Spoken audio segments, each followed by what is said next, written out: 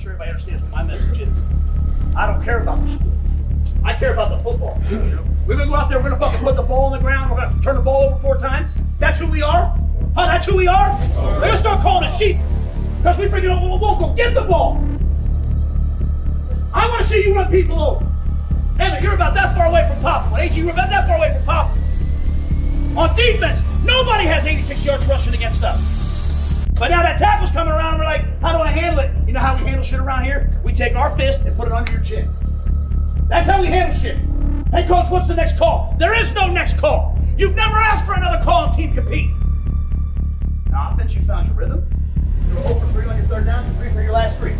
You know exactly what you need to do. This is a blitz game. It's a Frisco game.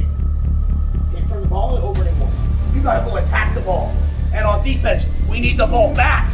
And nobody runs the ball against us. That's twice in our house, in front of our families, people are running the ball down the sidelines against us. That shit doesn't happen anymore. I don't care about the score. You'll win the game. You're better than them, and the better team always wins. I care about the tape and the standard. Do you? Yes, sir. Do you do some that tackle pulls around one more time? You knock him in the next week. You guys are just giving yourselves up one for one, man. You press, we get off blocks, knock the ball out. Doesn't mean you make it happen. They're starting with the ball. They haven't converted a third down yet. They have two yards passing. Take the ball away. Take the ball away. They're not here to quit. You saw them at the end, man. They're throwing Hail Marys up.